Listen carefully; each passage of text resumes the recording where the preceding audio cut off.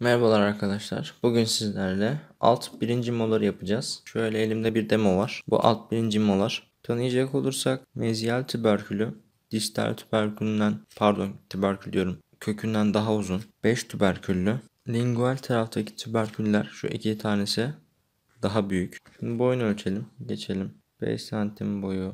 3 santimde ne var? Şöyle biz 6 yapmışız. Şuradan 5.5 keseceğim. Hale gitmekte yarar var. Şunu şuradan böleyim. Kaç santim oldu? 5.5 santim. Enine kaç demiştik? 3 dedik. Kuronun boyutuna bakıyoruz. Kuronun boyutu 2 santim. Şuradan 2 santim alalım.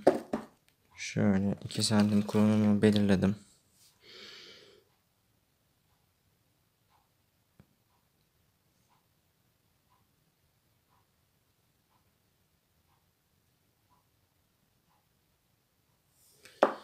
Şöyle şuralarını alıyorum kökünü belli etmek için.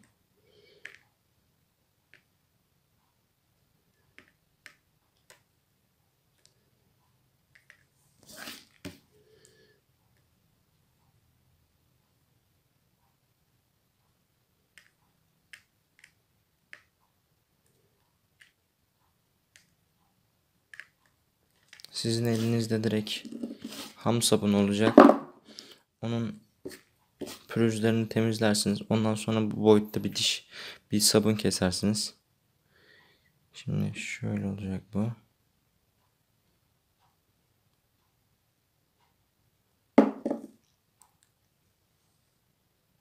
Şöyle kök ayrımı çıkartıyorum.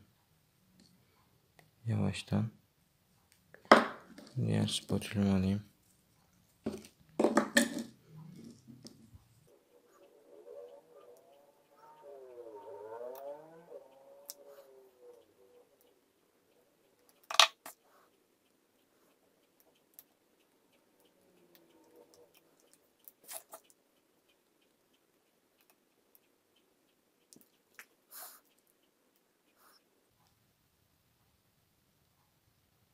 Şöyle gördüğünüz gibi 1, 2, 3. Şurada küçük tüberkül, en küçük tüberkül. 3, 4, 5.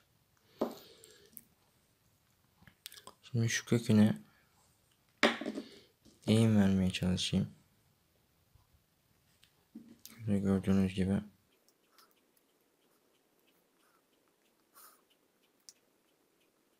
Normalde biz bunları çizerek yapıyoruz. Fakat ben videoda çizmeyerek yapıyorum. Ki çiziyorsanız zaten çok daha basit. Fakat çiziyorsanız oklüzyonunu şu kısımlarını şöyle kesmeyin. Hani normalde çizerek şöyle şöyle şöyle şöyle kesiyorsunuz. Ondan sonra oklüzyeli düzgün çıkmıyor. Kesmemenizi tavsiye ederim oklüzyolunu. Kendiniz yontarak yavaş yavaş yaparsanız daha güzel sonuçlar elde edersiniz.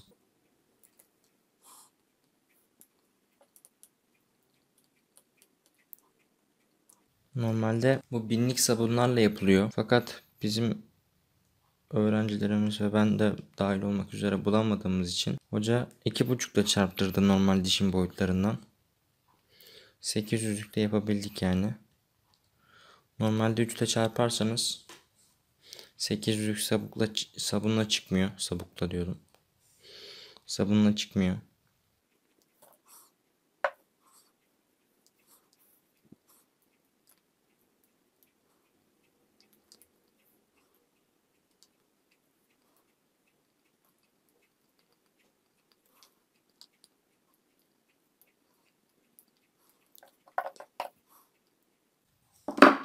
Küçük küçük olan aldım.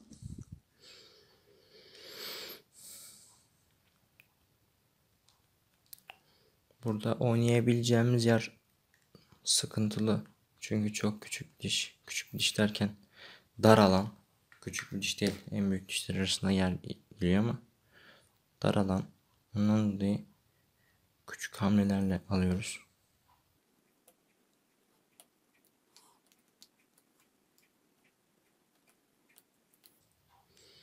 İlk kökünü çıkartacağız.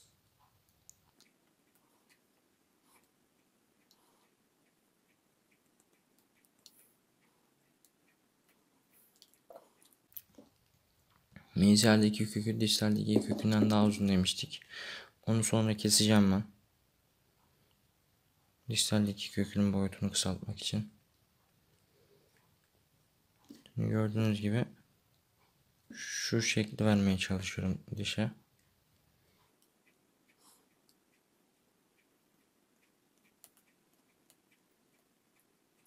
Yavaş yavaş.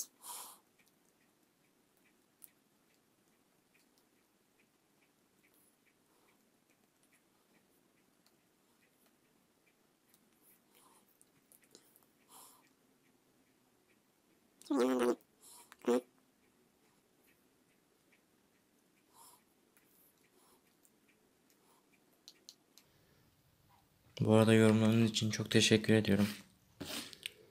Motive oluyorum yorumlarınızı okudukça. Güzel yorumlar yapıyorsunuz.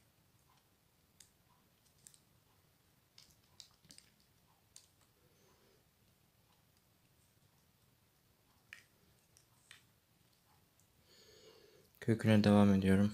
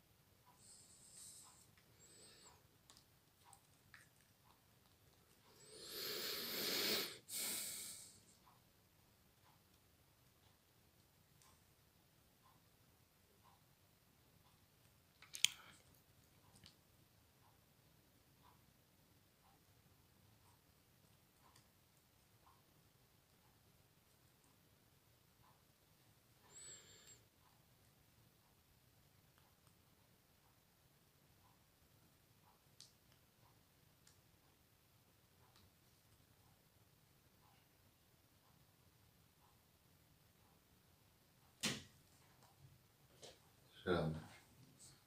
Selam baba.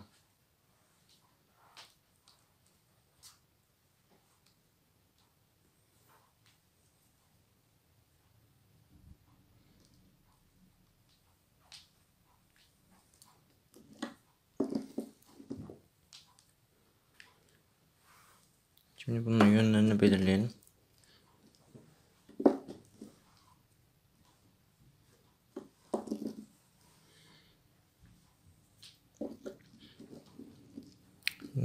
Bu bukkal tüberkül. Bukkal kısmı. Şöyle B yazıyorum. Burası lingual. Ne yazayım?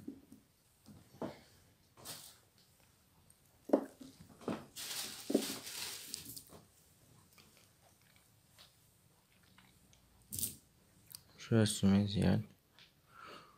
Şurası distal. Tamam. Şimdi şu kökü gördüğünüz gibi eğimli şu kökü düz geliyor. Böyle küçük spatülümü aldım. Böyle düz bir şekilde kazıyacağım.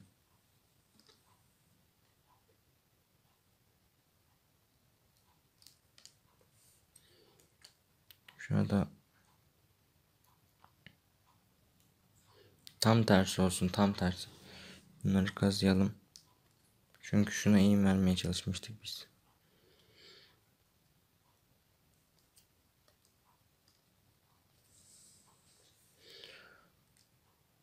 Şuna eğim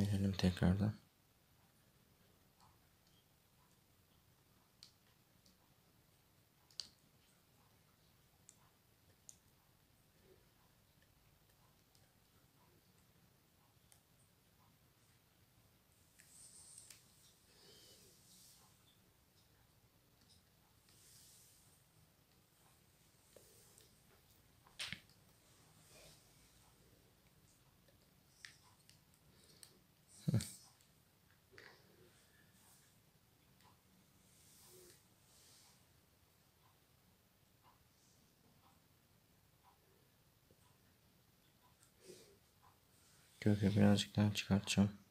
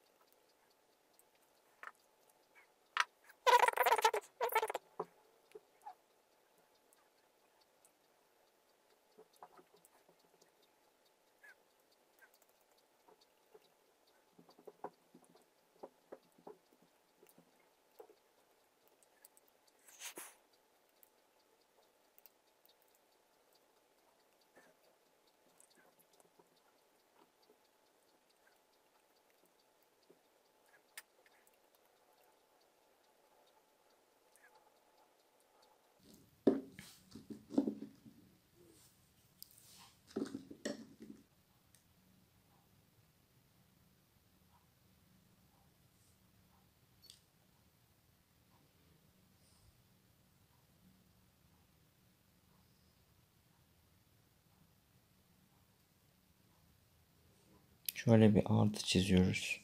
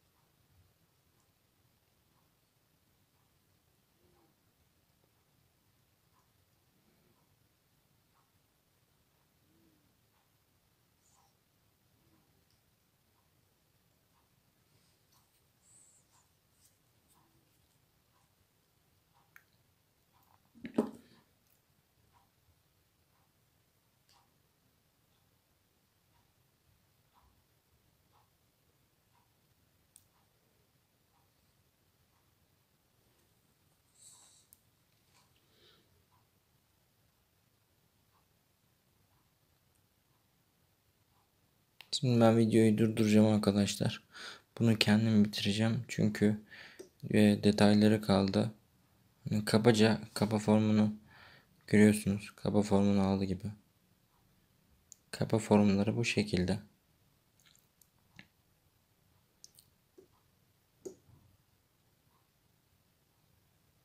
Ben bunun detaylarını verip daha çok güzel işte daha çok benzeyeceğim. Ee, en son tekrardan çekeceğim videoyu. Evet arkadaşlar dişimiz bitti. Şimdi karşılaştıralım. Bakıyoruz bukkal kısmına. Distal. Lingual. Mezyal. Oklüzelden bakalım. Oklüzel de benzemiş. Şu an dişimiz tamamdır. Bence iyi gözüküyor. Bu dişimizin yapımı böyleydi. İzlediğiniz için teşekkür ederim. Hoşçakalın. Görüşmek üzere.